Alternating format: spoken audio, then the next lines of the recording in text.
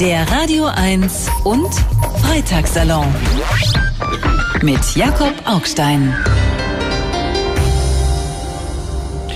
Guten Abend und herzlich willkommen zum Freitagssalon bei Radio 1. Ich begrüße Sie hier im Berliner Gorki Theater und daheim an den Endgeräten. Schön, dass Sie da sind. Ich weiß nicht, wie es Ihnen geht, aber ich glaube, dass wir alle unter dem Eindruck des britischen Referendums stehen. Nicht viele haben mit diesem Ergebnis gerechnet, ich bestimmt nicht. Also ich habe mich äh, verwettet, wenn ich gewettet hätte. Äh, die Furcht vor Migration, vor allem vor muslimischer Migration, spielte eine große Rolle. Die spielt in ganz Europa eine große Rolle, bei uns auch. Wir haben inzwischen eine Partei, die hauptsächlich von dieser Furcht lebt und das gar nicht so schlecht, wie immer man dazu steht. Darum bin ich froh, dass wir heute Abend Ahmad Mansour als Gast haben, mit dem wir über Migration reden können, über Radikalisierung, und zwar die Radikalisierung der Einwanderer und vielleicht auch über die der Einheimischen. Herzlich willkommen. Vielen Dank, danke für die Einladung.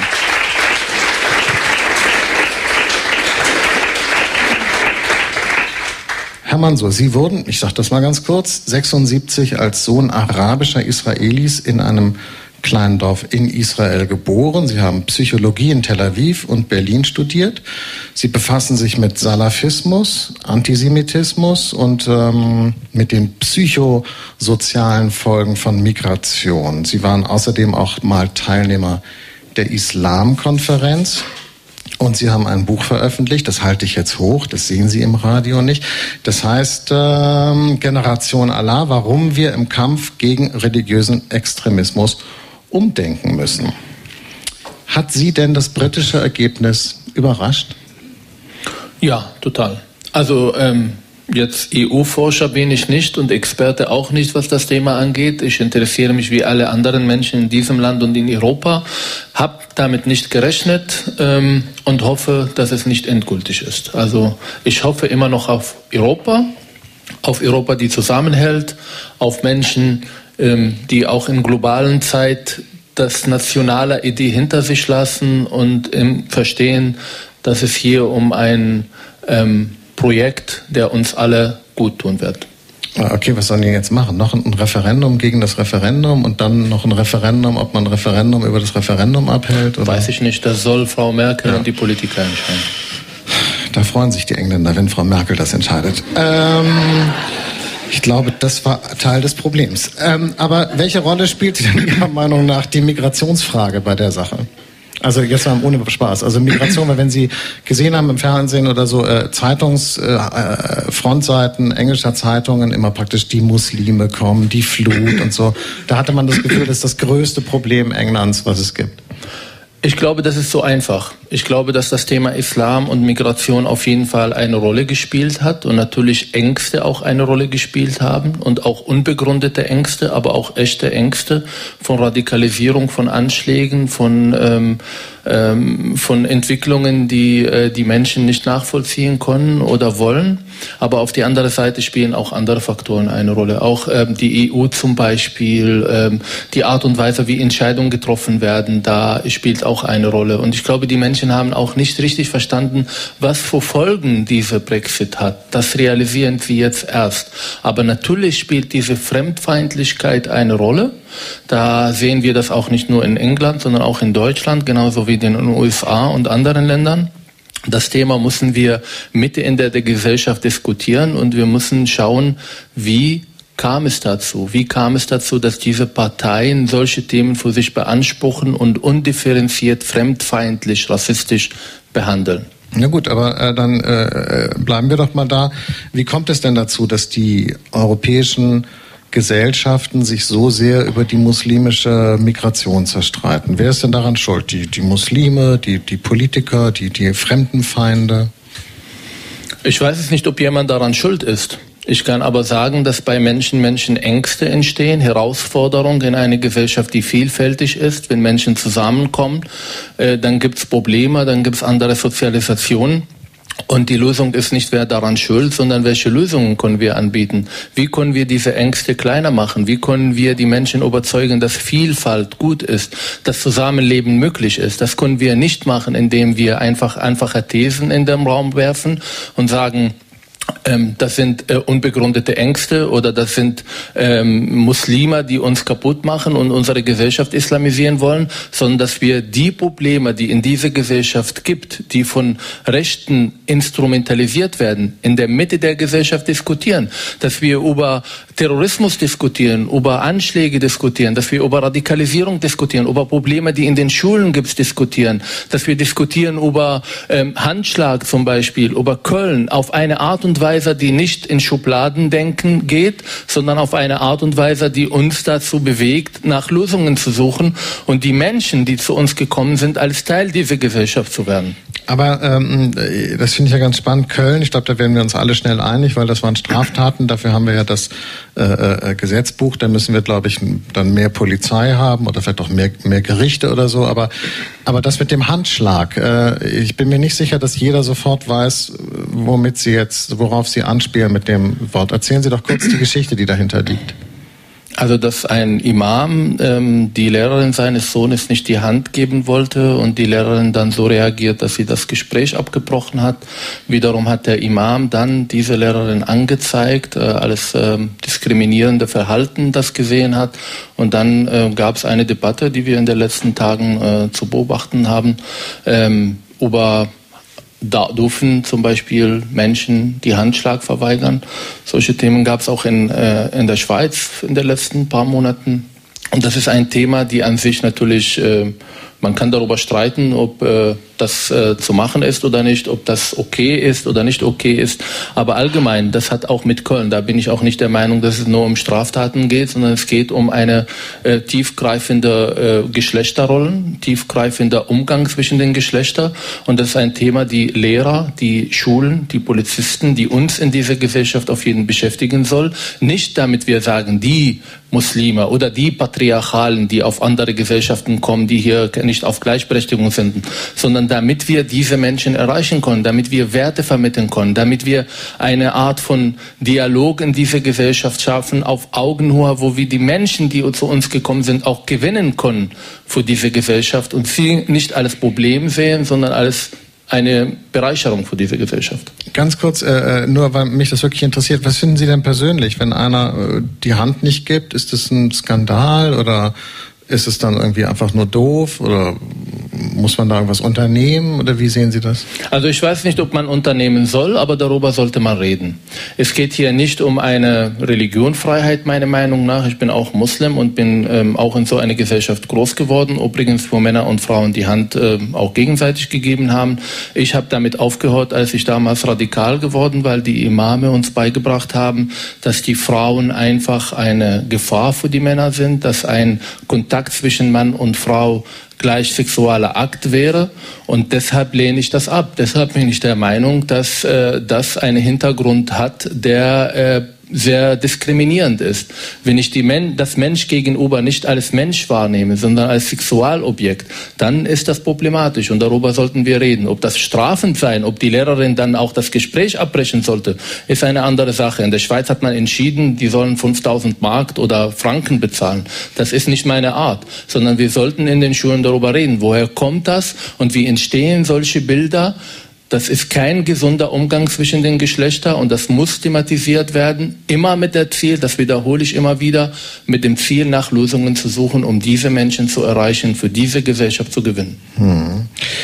Man hat den Eindruck, dass Religion in der Gesellschaft wichtiger wird, ähm, was ja eigentlich eine paradoxe Entwicklung ist, weil wir irgendwie gedacht haben, die letzten 200 Jahre, dass Religion immer weniger wichtig wird. Wie kommt das? Ist das gut? Ist das schlecht? Religionen werden ähm, wichtiger für die Menschen und zwar nicht nur in der muslimischen Community, sondern weltweit ist das zu beobachten. Ich arbeite ganz viel mit Familien von Jugendlichen, die sich radikalisiert haben. Übrigens nicht nur ähm, aus muslimischen Familien, sondern auch aus äh, deutscher Familien ohne Migrationshintergrund und merke immer wieder, dass die Jugendlichen eine bestimmte Bedürfnis haben. Diese Bedürfnis ist erstmal nicht Religion, sondern das Bedürfnis ist Orientierung, Halt. Das Bedürfnis ist Struktur im Alltag. Das Bedürfnis ist die Entscheidung abzugeben. Das Bedürfnis ist einfach einen Alltag zu haben, wo sie Mission und Aufgaben bekommen. Und leider sind extreme Ideologien heute diejenigen, die diese Bedürfnisse auch stellen können, die eine Antwort haben, die die Jugendliche aufnehmen, ihnen die Möglichkeit geben, Struktur im Alltag zu haben. Und deshalb finde ich das problematisch. Ich finde es nicht problematisch, dass die Menschen religiöser werden. Ich bin auch religiös. Erlebe meine Religiosität als eine Art von Privatsache. Das ist etwas für mir und Gott. Das äh, stellt in der Gesellschaft kein Problem. Aber wenn ich dann meine Religion auf eine Art und Weise auf, auslebe, dass ich anfange, andere Menschen abzuwerten, dass ich anfange, irgendwie die Gesellschaft und die Werte dieser Gesellschaft abzulehnen, dann haben wir ein Problem. Und das sehen wir bei den radikalisierten Jugendlichen, übrigens nicht nur diejenigen, die von Verfassungsschutz beobachtet werden, nicht nur diejenigen, die nach Syrien und Irak ausgereist sind. Das sind natürlich Menschen, die wir verloren haben. Und da sollen wir uns die Frage stellen, wie kam es dazu, sondern die alltägliche Situation von Jugendlichen, die ich tagtäglich in Schulen treffe, wo Jugendliche, die unter uns leben, die Teil dieser Gesellschaft sind, und das sind zweifellos Teil dieser Gesellschaft, sich von der Werte dieser Gesellschaft entfernen, andere Werte vertreten, die in eine demokratische Struktur, in eine demokratische Gesellschaft problematisch sind und meistens nicht zu suchen haben. Einfacher wird die Sache ja nicht dadurch, dass diese Differenzierung, die Sie eben vornehmen zwischen äh, äh dem Islam als äh, äh, Religion, die man halt ausüben kann, und äh, dem Islam sozusagen als Funktion äh, im, im Leben zum Beispiel von solchen Jugendlichen, diese Differenzierung wollen viele Leute nicht mitgehen, sondern die reden über den Islam. Gibt es den Islam? Nein, glaube ich nicht. Es gibt Islamverständnisse. Das sage ich in aller äh, Interviews, die ich bis jetzt gegeben habe.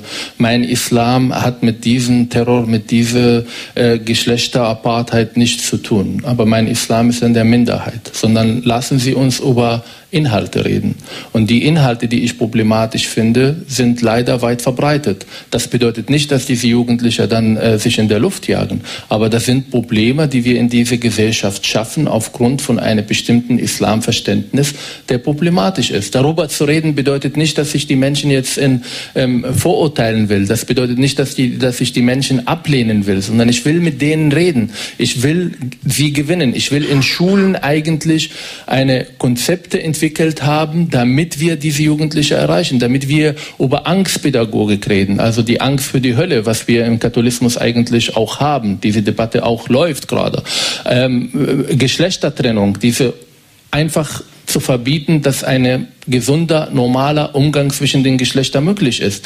Tabuisierung der Sexualität, dass Kinder, die hier groß werden, ihre Sexualität nur unter enormen Schuldgefühle ausleben können, wenn überhaupt. Dann Antisemitismus, der auch manchmal religiös begründet wird. Verschwörungstheorien, die diese Jugendliche konsumieren in, in, in Maßen, die mir Angst macht, dass die Jugendliche einfach nicht mehr AAD oder öffentliche Rechtliche sehen, sondern die Information über das, was in der Welt passiert, durch Verschwörungstheorien konsumieren und vor allem ein Religionverständnis, der den Menschen entmündigt. Buchstabenglauben nenne ich das. Das heißt, das, was im heiligen Schriften steht, steht nicht zur Debatte. Ich darf nicht darüber nachdenken. Ich darf nicht meine Meinung dazu bilden, sondern ich muss das wiedergeben, wie er da steht. Und das schafft Menschen, die entmündigt werden. Das schafft autoritäre Strukturen, die diese Menschen nicht dazu bewegt, kritisch zu denken, zu hinterfragen. Und das sind die Punkte, die vor allem in den Schulen zu bearbeiten sind. Mit einer richtigen Schulkonzepte, die endlich versteht, dass wir in eine vielfältige Gesellschaft leben, die ganz neue Herausforderungen mit sich bringen. Wenn wir diese Offenheit mitbringen, wenn wir diese ähm, Unterrichtseinheiten entwickeln können, um diese Menschen auch mitzunehmen, dann können wir viele Probleme lösen der klare, einfache, gerade Satz eines Bundespräsidenten, äh, ähm, der Islam gehört zu Deutschland. Was bewirkt der bei Ihnen? Finden Sie es richtig, falsch? Verstehen Sie, warum Leute sich darüber aufregen? Ich glaube, das, ist, äh, das macht viele Menschen Angst, wenn so ein Satz gesagt wird. Es hat mich natürlich gefreut, als Muslim äh, Teil dieser Gesellschaft sein zu dürfen. Ich glaube, die Muslime sind auch vor dem, diesem Satz Teil dieser Gesellschaft gewesen. Sie leben, sie leben ihre Religion seit Jahren eigentlich ähm, und das ist gut so. Ich glaube, das ist aber zu allgemein. Ein Islamverständnis, der ohne Wenn und Aber hinter Demokratie und Menschenrechte steht, gehört definitiv zu Deutschland. Ein Islamverständnis, der in sich Werte trägt, die undemokratisch sind, das habe ich gerade erwähnt, gehört nicht zu Deutschland. Das bedeutet nicht, dass diese Menschen jetzt abgeschoben werden, sondern dass wir mit diesen Menschen in Dialog gehen, damit sie in der Lage wären. Aber finden Sie, dass man das beim Islam immer extra betonen muss? Also ich meine, so fundamentalistisches Christentum sollte dann irgendwie auch nicht dazugehören, oder? Ja, aber wir reden jetzt über den Islam.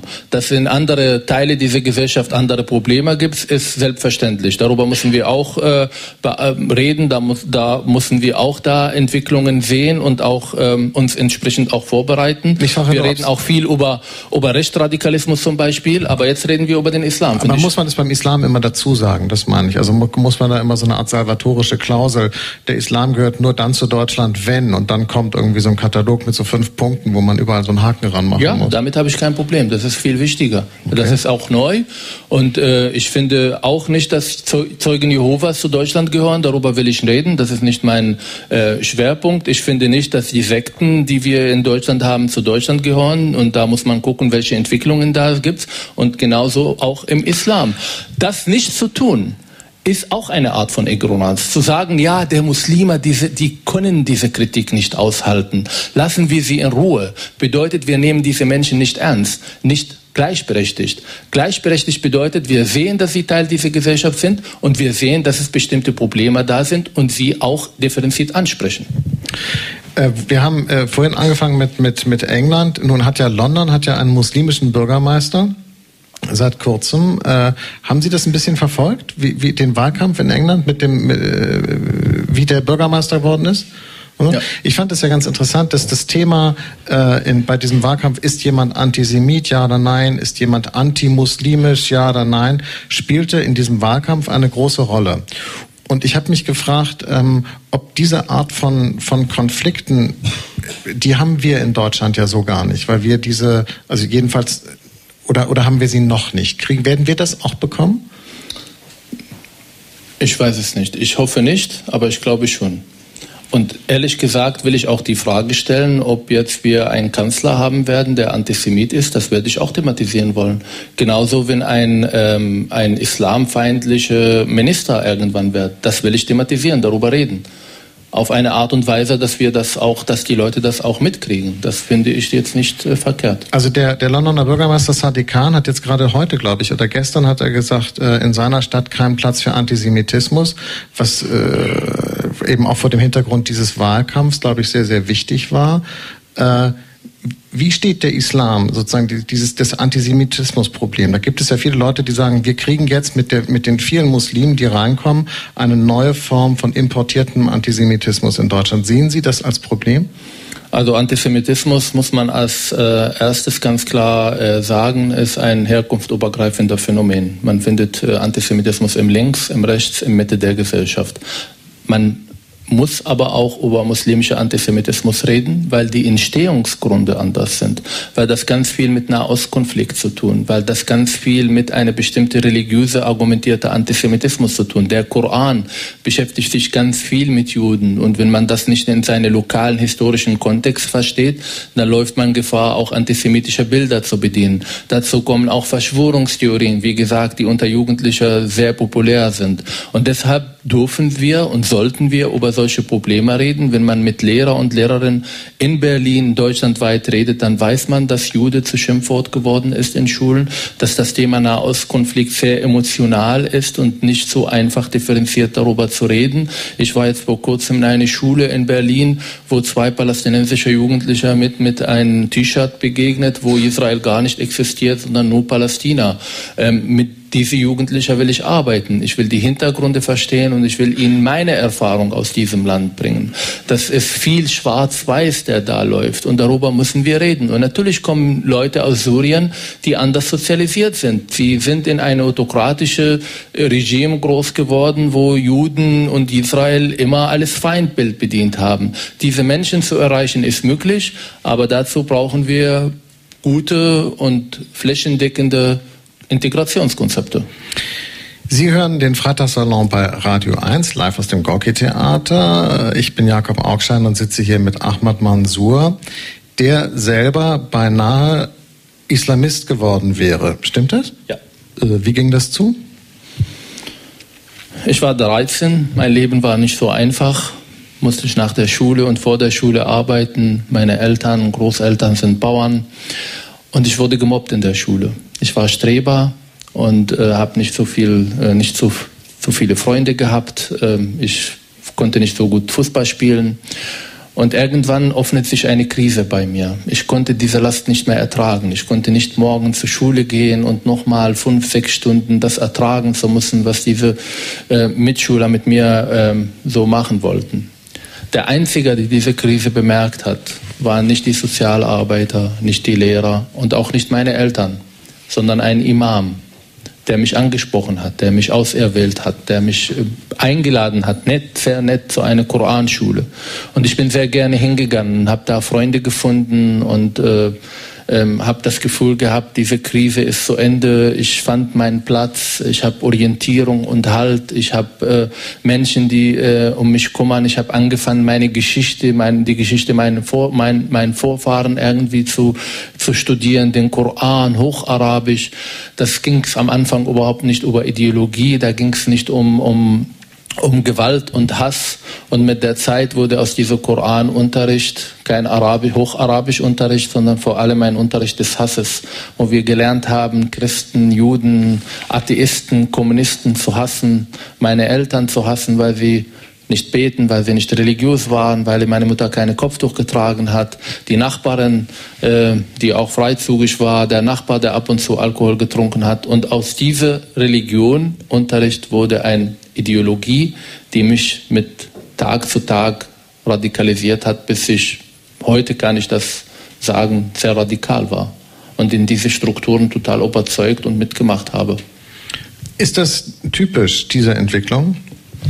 Dass Menschen ähm, diese Ideologie in Zeiten der Krise finden, ja, definitiv. Also wir begleiten bei Hayat die Beratungsstelle, wo Eltern anrufen können, wenn sie das Gefühl haben, ihre Kinder radikalisieren sich, über 300 Familien. Und wir können sagen, dass in den meisten, äh, bei den meisten Fällen handelt es sich um Jugendliche, die in eine Krise stecken, der ihnen eine Vaterfigur fällt, die unzufrieden sind. Deshalb sagen ganz viele Jugendliche, wenn man ihnen fragt, wie fühlen sie sich, nachdem sie halt diese Ideologie gefunden haben, reden sie von Erlösung, von neu geboren zu werden, von Befreiung. Das heißt, vorher waren sie unzufrieden. Ähm, man merkt, dass soziologische wie psychologische Faktoren eine Rolle spielen, die dazu führen, dass diese Jugendlichen sich radikalisieren. Aber ist denn der Islam nicht sozusagen unabhängig jetzt von diesen ihren individuellen Erfahrungen sowieso grundsätzlich im Moment ein bisschen die, die Religion der Underdogs? Also die Religion sozusagen, die noch so eine, die auch ein, so, um es jetzt mal ein großes Wort zu benutzen, sozialrevolutionäres Potenzial hat. Welche dann? Naja, äh, ich meine, wir könnten sozusagen jetzt groß einsteigen quasi in, äh, wie der Westen die äh, muslimische Welt unterdrückt und ausgebeutet hat. Die kennen diese ganzen Geschichten und Erzählungen. Ja, aber das ist auch zu einfach. Das ist genau die Rhetorik der und Islamisten. Diese Opfer- und Feindbilder. Auf der einen Seite wir immer. Ich wollte eigentlich auf was anderes hinaus. Ich wollte eigentlich darauf hinaus, dass sozusagen die, die Instrumentalisierung von Religion für politische Zwecke ist ja eigentlich nichts Ungewöhnliches. Das Christentum hat ja auch mal angefangen als widerständige Religion gegen als äh, unterdrückerisch empfundene Umstände. Also dass man sozusagen Religion nimmt und sie einbaut in, in andere, in, ein, in einen politischen Zweck, das ist ja fast normal eigentlich.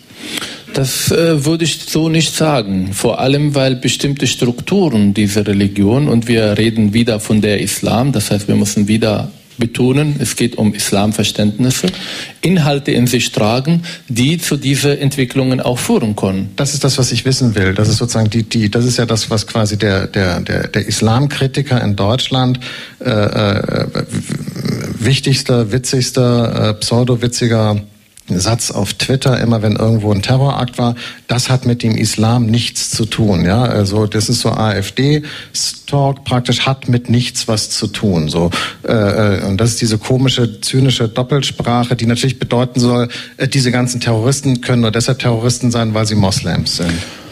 Sie kommen aus der Mehrheitsgesellschaft und Sie erwähnen einen sehr wichtigen Punkt, diese Pauschalisierung, diese ähm, Anspielung auf eigentlich Zentralrat der Muslime, der immer sagt, das hat mit dem Islam nichts zu tun. Und jetzt übernehme ich die Aufgabe eines Muslim und sage, auf die andere Seite bin ich auch mit dem Satz, das hat mit dem Islam nichts zu tun, nicht zufrieden. Das ist viel zu einfach. Das ist Verantwortung abgeben. Ich will als Muslim mir die Frage stellen, wie konnte so eine Ungeheuer unter uns entstehen? Was hat, wie konnte man diese, äh, diese Taten, diese Entwicklungen instrumentalisieren, meine Religion eigentlich instrumentalisieren? Wie, welche Entwicklungen, welche Inhalte gibt es in dieser Religion, die zu dieser Radikalisierung führen? Die einen, die sagen, wir sind Welt der Tiere und integrierbar und natürlich hat das mit dem Islam zu tun, tun die Debatte nicht gut. Auf die andere Seite diejenigen, die sagen, das hat mit dem Islam nichts zu tun bringen wir uns auch nicht weiter.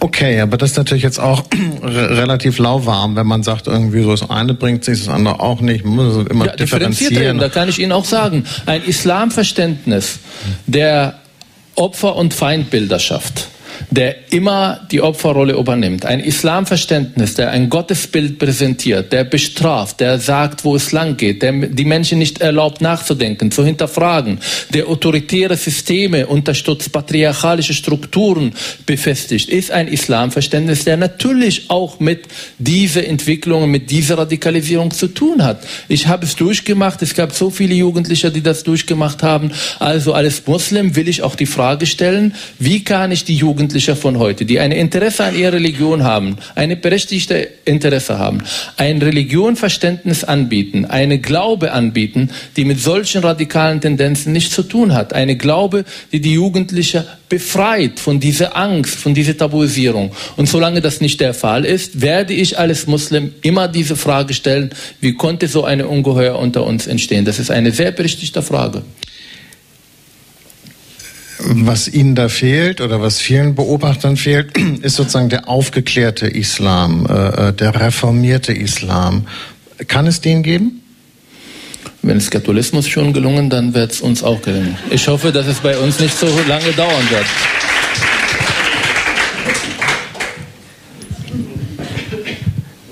Also auf die Frage einfach zu beantworten, ja, wir arbeiten dran.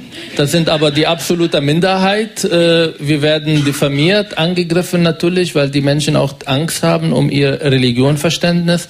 Aber das ist notwendig. Ich bin, ich bin ja so ein langweiliger Linker. Ich glaube ja immer, es liegt daran, wie es den Leuten geht, wie sie denken. Es geht so von außen nach innen und nicht von innen nach außen. Glauben Sie nicht, dass es ein soziales Problem ist? Ich meine, wenn, wenn Bildung, Teilhabe, Beruf, Akzeptanz, ja, auch Gehalt und so. Und viele der Probleme lösen sich dann irgendwie von selbst in, im, im Prozess der Akkulturation oder ist das auch zu einfach gedacht? Zu einfach gedacht. Okay. Wir können zum Beispiel die Statistik anschauen von denjenigen, die so radikal waren, dass sie Deutschland verlassen haben. Ihre Biografien einfach mal schauen und sehen, was sind sie, woher kommen sie, welche kulturelle, religiöser Hintergrund sie haben und vor allem waren sie bildungsnah, bildungsfern, zu welcher Schicht gehören. Und dann merken wir, dass es jeder treffen kann.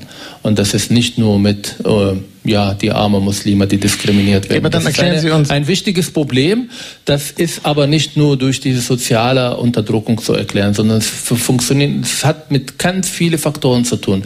Da verstehe ich nicht, wieso die Leute aus Saudi-Arabien sich radikalisieren, die in einer Gesellschaft, in Luxusgesellschaft leben, die radikalisieren sich. Und das erklärt nicht auch derjenige, der ohne Migration-Hintergrund zu der Mehrheitsgesellschaft gehört, der auch äh, so radikal geworden, dass er in, bei IS jetzt kämpft.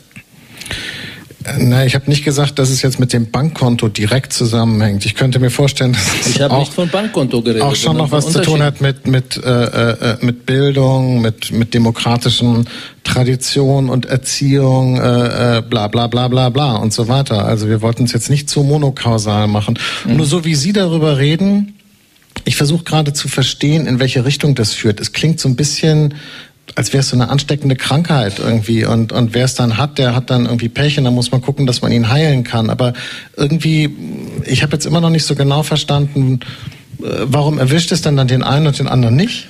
Ich will die Leute nicht heilen, sondern ich will die Leute gewinnen. Und zwar viel früher, bevor das die IS oder die Islamisten tun. Ich sage auch im Buch, die Salafisten sind heute die besseren Sozialarbeiter. Und diesen Zustand will ich nicht akzeptieren.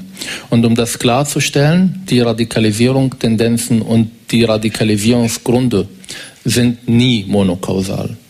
Die sind auf sehr unterschiedlicher Ebene zu beobachten. Es gibt die soziologische Ebene, da gebe ich Ihnen recht, natürlich Diskriminierungserfahrung, äh, Leute, die Verlierer in dieser Gesellschaft sind, suchen nach Identität, auch diese Identitätskonflikte, die diese Jugendliche haben, vor allem diejenigen, die zu Hause als Deutscher beschimpft werden, nach außen gehen und als Migranten oder Ausländer beschimpft werden, das äh, bringt diese Jugendliche zu einer Konfliktkrise und dann suchen sie nach Antworten und dann gibt es diese schwarz-weiß Identität, wo Abgrenzung eine Rolle spielt. Ich bin nicht fertig. Dann gibt es auch natürlich die, die psychologischen Faktoren, die eine Rolle spielen. Also fehlende Vaterfigur, äh, persönliche Krise, Depression. Es gibt manche, die einfach nach Syrien und Irak ausreisen, weil sie Lust am Töten haben. Das sind Leute, die auch psychisch krank sind, Psychopathen, die einfach nur Blut sehen wollen, die andere die Abenteuer erleben wollen. Und es gibt natürlich, und das dürfen wir auch nicht vergessen, die Theologie oder die Ideologie, die dann natürlich den Basis schafft, an dem diese Radikalen ihre Ideologie aufbauen. Wenn ich mit Angstpädagogik groß werde, wenn ich weiß, dass Gott mich bestraft wird, dass Gott von mir was erwartet und dann eine Gruppe sagt und äh, kommt und sagt, wir sind die Rettung, wir sind der direkte Weg in der Himmel, wir können euch von der Hölle retten, dann machen natürlich nicht alle mit, sondern vielleicht zwei oder drei Prozent, aber das sind die zwei oder drei Prozent Prozent, die verlieren. Also Monokausalität definitiv nicht. Das ist auch keine Krankheit, sondern es ist ein Phänomen, die wir in den letzten Jahren intensiv in dieser Gesellschaft haben, und zwar nicht nur in der Migration, sondern auch in den arabischen, muslimischen Ländern.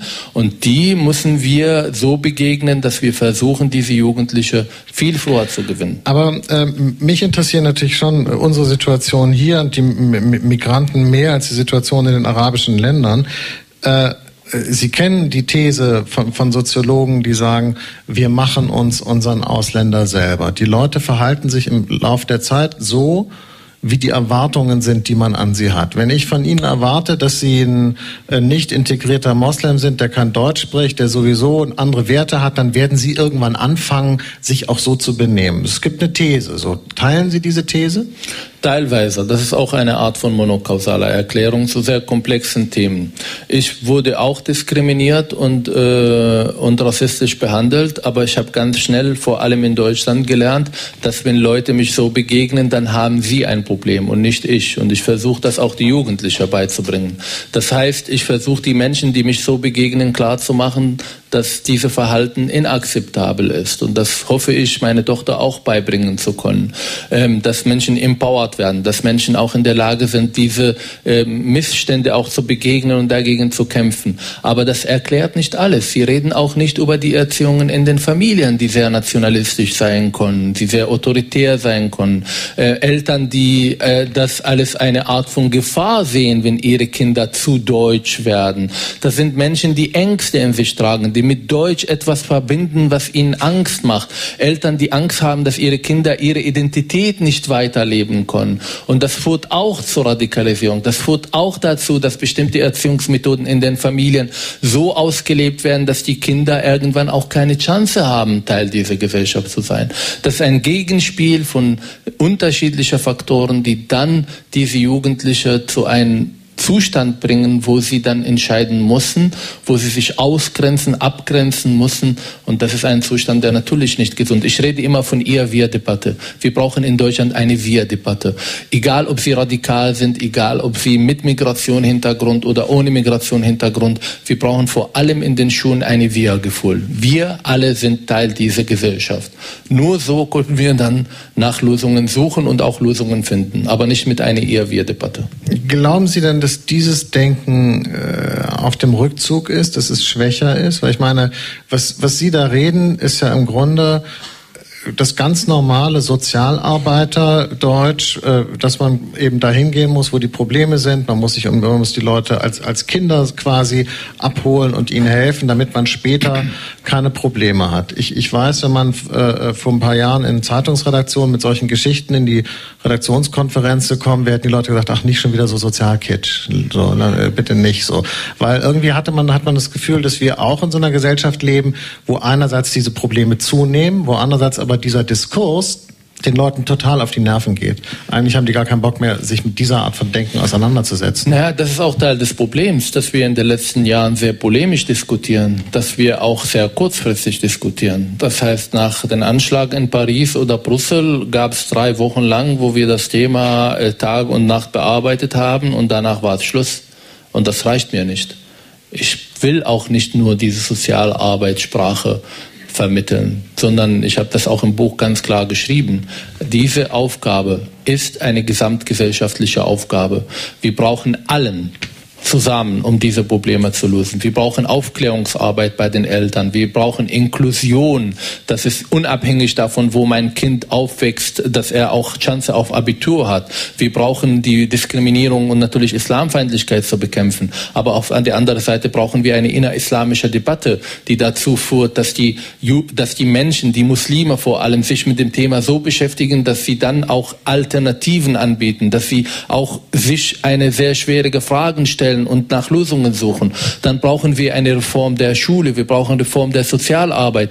Die Schule muss in der Lage, die neuen Herausforderungen auch sich zu stellen und äh, Konzepte zu entwickeln, um diese Jugendlichen zu gewinnen. Wertevermittlung, kritisches Denken fordern, über aktuelle ja, politische stopp, Themen stopp, reden. Das ist ja unheimlich viel, was wir brauchen. Ja, das ja, ja das ist auch ein sehr kompliziertes ja, Thema. aber, aber, aber meinen Sie, dass wir auch nur ansatzweise auf dem Weg sind, sozusagen die Sachen so anzugehen, wie Sie das sagen? Also Nein. ist das das, was Sie erleben um sich herum? Ich nämlich auch nicht.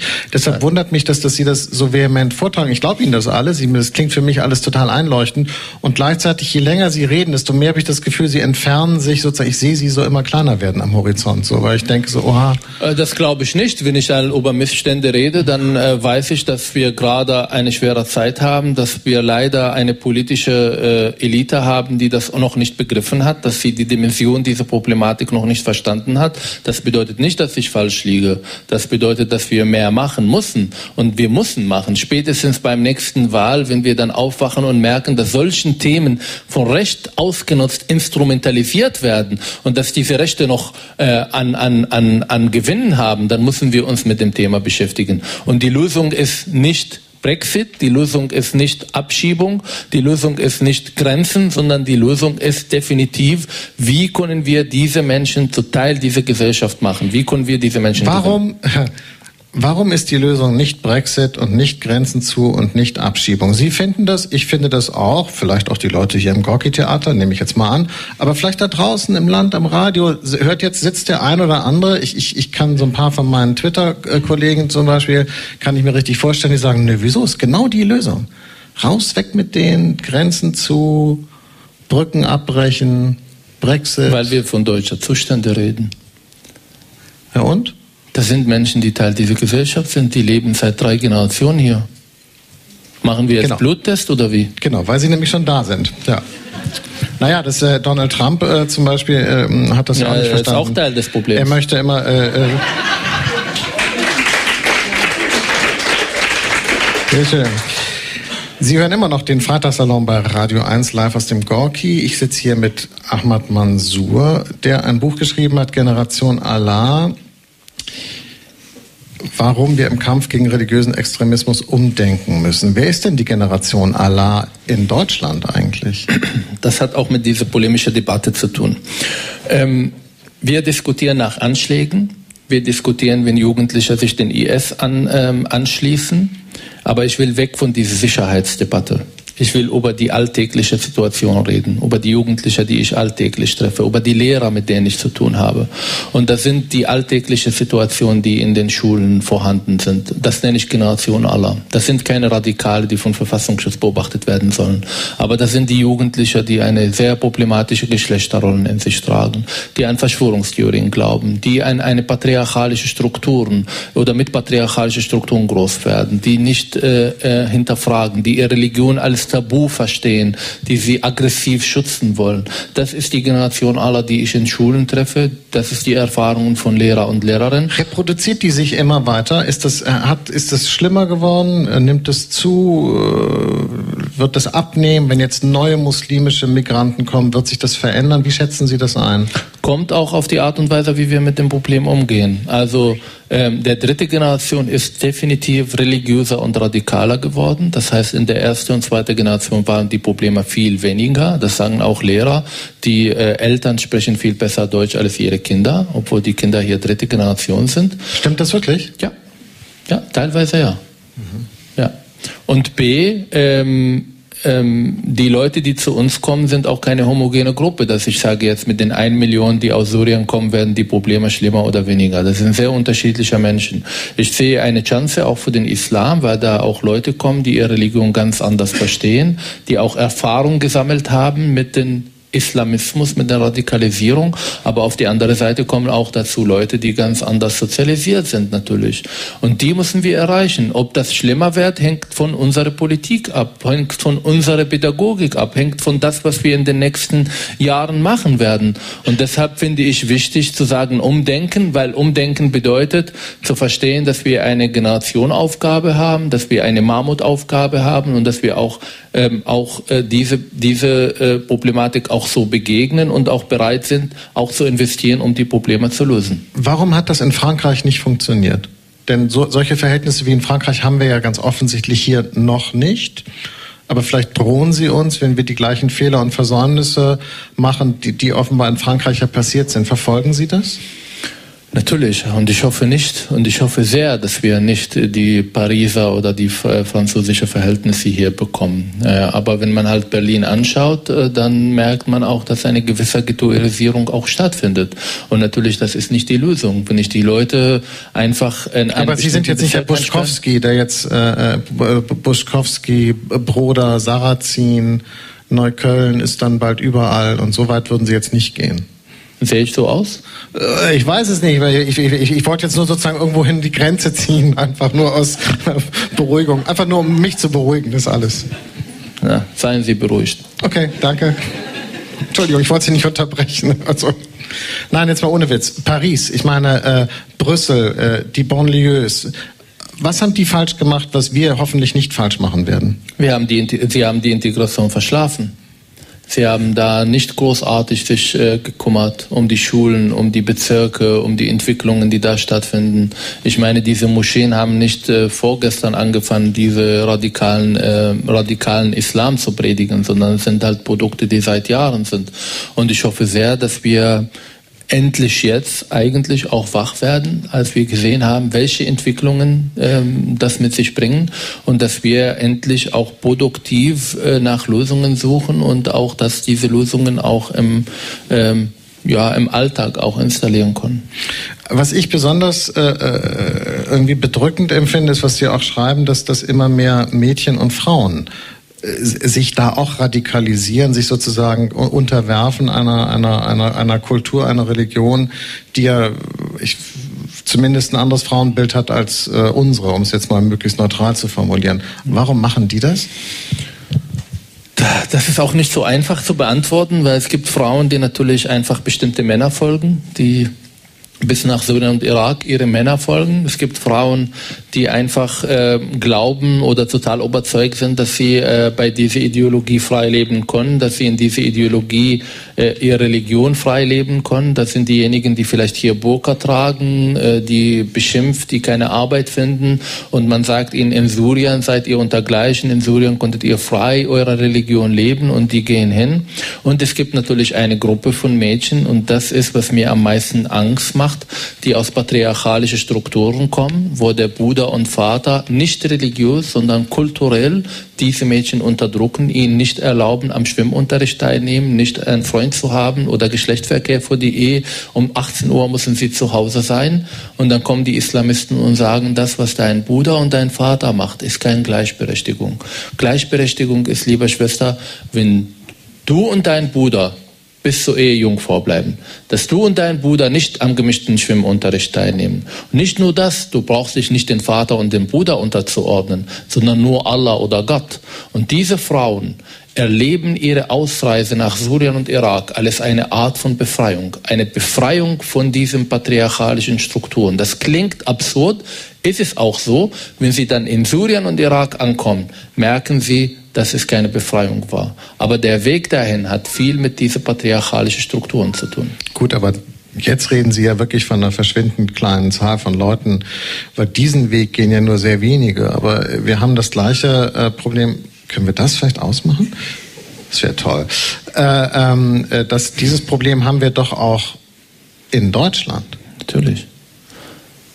Ja, die, diejenigen, was ist das Versprechen? Was ist das Versprechen, was man diesen Frauen macht? Also welches Versprechen hat eine patriarchalische Religion für eine Frau in Deutschland, um es mal ganz klar zu fragen? Naja, patriarchalische Strukturen mhm. werden nicht existieren, wenn die Frauen jetzt sagen, ich, wir wollen nicht mitmachen sondern die Frauen sind ein Bestandteil dieser patriarchalischen Strukturen. Sie tun das, weil sie so sozialisiert sind, weil diese Erziehungsgenossen haben und weil für bestimmte Frauen eine Machtverhältnisse auch ermöglicht. Das heißt, wenn ich eine Mutter bin, dann kann ich meine Tochter unterdrücken und wenn meine Tochter heiratet, dann kann sie auch ihre Tochter, äh, ihre Schwiegertochter unterdrücken und, und, und, und, und. Also das sind Entwicklungen, die auch Machtverhältnisse auch äh, sozusagen versprechen. Und das muss nicht bis nach Syrien und Irak äh, endet, das ist nur die Spitze des Eisberges Tages, aber das sind Menschen, die unter uns leben, die genauso wie die Männer von dieser Ideologie dann auch leben. Und sie erleben das nicht als Unterdrückung, sie erleben das sogar als eine Art von Befreiung, sich unterzuordnen, äh, sich um zu Hause zu kümmern, um die Kinder zu kümmern, finden viele Frauen als eine Art von Emanzipation. Finde ich nicht, lehne ich das total ab, aber das sind diejenigen, die vielleicht äh, nicht mit, äh, die mit Emanzipation vielleicht überfordert sind, die das nicht wollen, die sich unterordnen wollen, die einen Mann haben wollen, wollen, der dann der ähm, klassische Männlichkeitbild entspricht. Und das sind diejenigen, die dann sich äh, diesen Weg gehen. Sind denn diese Leute, von denen Sie sprechen, für uns eigentlich erreichbar über Medien, über Politik, über, über, über öffentliche Diskurse? Oder sind die sozusagen so abgeschottet in ihrer Welt, dass sie sowieso nicht wahrnehmen, wie, wie wir anderen reden? Also ich habe die Erfahrung gemacht. Beziehungsweise, und wenn das so ist, wie kommen Sie denn dann, wo, wo ist der Zugang? Ich habe die Erfahrung gemacht, dass man, dass man diese Menschen auch erreichen kann. Das ist natürlich eine sehr, sehr intensive Arbeit. Wenn man einfach erstmal Bezug werden, wenn man Vertrauen aufbaut, dann kann man mit denen über alles reden. Aber wenn wir einfach umdenken müssen, dann müssen wir diese Menschen viel früher erreichen, bevor sie sich radikalisieren. Das heißt durch Präventionsarbeit. Wir vermischen hier Deradikalisierungsarbeit, also diejenigen, die schon radikal sind. Das sind kostenspielische äh, Interventionen, die auch Jahre dauert und keine Erfolgsgarantie mit sich bringt. Auf die andere Seite mit einer richtigen Präventionsarbeit, flächendeckende, vor allem in den Schulen, können wir viele, viele, viele Jugendliche viel früher erreichen bevor das tun. Das tun wir nicht, indem wir dieses Thema tabuisieren, indem wir darüber nicht reden, indem wir sagen, na ja, wenn die muslimischen Mädchen nicht am Schwimmunterricht teilnehmen wollen, dann müssen wir das als Aber ganz kurz mal das Beispiel mit dem Schwimmunterricht. Ich habe jetzt nochmal recherchiert und gelesen, schon neulich, weil mich das interessiert hat. Also alles, was es wirklich an, an Fakten gibt, sind, sind Studien von irgendwelchen äh, äh, äh Ministerien und, und Bundes, ich weiß nicht, verstellen, die sagen, es stimmt gar nicht. Es, die, der, der Teil von Eltern, die ihre Mädchen aus religiösen Gründen nicht am Schwimmunterricht teilnehmen lassen, der ist so klein, dass, dass ich da jetzt zu einem gesellschaftlichen Problem nicht sprechen würde. Trotzdem, selbst ja. jemand wie Sie führt als allererstes dieses Beispiel an. Ja. Wo, wie kommt diese Diskrepanz zustande? Also ich lade Sie herzlich ein, mit mir ein oder zweimal zu Schulen zu kommen und diese Frage dann die Lehrer und Lehrerinnen zu stellen. Und dann werden Sie merken, in eine einzige Schule werden Sie mehr Fälle dokumentiert bekommen als das Gesamte, was in diesen Statistik ähm, ähm, ja, geschrieben wird, weil das Problem totgeschwiegen wird. Darum geht es mir. Und das ist auch eine Art von Rassismus. Oha, nicht darüber zu reden. Äh, schade, dass jetzt die Zeit gleich um ist. Aber nee, warte, das ist schon wichtig. Also Sie sind auch der Meinung, dass sozusagen die, also öffentliche Stellen, wir reden jetzt ja nicht von der Lügenpresse, sondern wir reden jetzt ja hier von, von Bundesanstalten, äh, Ministerien, also, also quasi Behörden im weitesten Sinne, irgendwelche Daten unterdrücken. Ja, die haben die, die kennen sie, aber sie veröffentlichen dann bewusst falsche Daten? Nee, die Soweit werden nicht erfasst. Die werden einfach nicht erfasst. Das heißt, wenn eine Lehrerin das ihre Schulleiter erstmal meldet, dann muss sie äh, auch ihm vertrauen, dass er das weitermeldet. Und in diesem Weitermelden geht diesen Daten ähm, äh, verloren. Nicht, dass man das äh, mit Absicht macht, aber man will sich mit solchen Themen nicht auseinandersetzen. Aber die Probleme sind da, da verspreche ich Ihnen. Da können Sie mit Lehrern reden, wie Sie wollen. Sie können mich begleiten. Ich bin fast täglich in Schulen und das ist tagtäglich. Ich will keine Probleme groß schreiben, sondern ich will Probleme lösen.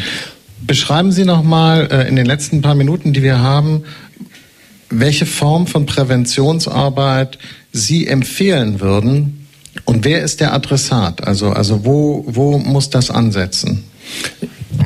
Das ist eine gesamtgesellschaftliche Aufgabe. Also wir brauchen ganz, ganz viele Ebenen und wir brauchen ganz viele ähm, Umdenken, um diesen Präventionsarbeit leisten zu können. Ich kann damit anfangen, dass wir zum Beispiel heute mit einer Generation zu tun haben, der online ist, der digital ist, der vor allem seine Informationen und seine ähm, Diskussionen auf sozialen Medien führt. Jetzt schauen wir mal, wie wir, die Zivilgesellschaft, da ähm, präsent sind. Sind wir nicht. Das heißt, Jugendliche, die auf äh, Seiten, fragwürdiger Seiten bestimmte Diskussionen führen, führen das unter sich. Soziale Medien sind recht freie Räume geworden. Übrigens nicht nur unter Muslimen, sondern auch insgesamt. Das wissen Sie auch, wenn man halt den Rechtsradikalismus verfolgt. Da müssen wir aktiv werden. Wir müssen Gegennarrative schaffen. Wir müssen die Jugendlichen Alternativen zeigen. Wir müssen mit denen in, äh, in Diskussion zu gehen. Die Jugendlichen sind nicht im Jugendzentrum von nebenan und kicken, sie sind online. Und da muss auch eine Sozialarbeit stattfinden, eine digitale Sozialarbeit. Dann müssen wir in den Schulen in der Lage sein, über aktuelle politische Themen reden. Ich habe viele Lehrer und Lehrerinnen erlebt, die nach dem Sommer 2014, nach dem Gaza-Krieg, mit dem Thema total überfordert waren. Die wollten darüber reden. Die Schüler und Schülerinnen waren sehr interessiert. Das erlebe ich immer wieder, wenn ich in Schulen bin. Aber in der Ausbildung, in der ähm, Lehrpläne gibt es kaum Plätze, wo dieses Thema angesprochen wird. Jetzt suchen diese Jugendlichen die Informationen woanders und landen bei Antisemiten und Radikalen, die die Welt in Schwarz-Weiß teilen. Da muss viel investiert werden. Die Ausbildung von der Lehrer muss so gestalten werden, dass solche Herausforderungen, solche Themen zum Ausbildung gehören. Es kann nicht sein, dass Lehrer, die irgendwo in Schulen arbeiten, wo 50, 60, vielleicht auch 80 Prozent Menschen mit muslimischer Hintergrund in der Klasse sitzen und in der Ausbildung kein einziger Kurs über Islam, über das Leben von Muslimen existiert. Da muss sich zum Beispiel ändern. Wir müssen kritisches Denken fordern. Wir müssen Elternaufklärungsarbeit leisten. Wir müssen endlich auf die politische Ebene es schaffen, die Politiker zu überzeugen, dass sie nicht nach jedem Anschlag zwei, drei Millionen Euro rumspeisen und Aktionismus betreiben und sagen, ja, wir machen was dagegen, sondern wir brauchen eine Konzepte, die flächendeckend sind. Wir müssen endlich verstehen, dass es hier um eine Generationaufgabe geht. Und nur so können wir diese Menschen erreichen und für diese Gesellschaft gewinnen. Da haben wir eine Menge zu tun. Vielen Dank, Ahmad Mansour, dass Sie hier waren. Äh wir reden jetzt hier im Gorki-Theater noch weiter. Sie haben die Möglichkeit, jetzt Fragen zu stellen. Ich verabschiede mich von unseren Hörern daheim. Jetzt gehen wir in die Sommerpause. Im September kommen wir dann wieder. Dann rede ich mit Margot Kessmann über Gott, Luther und die Welt. Und bis dahin wünsche ich Ihnen viel Spaß. Danke. Dankeschön.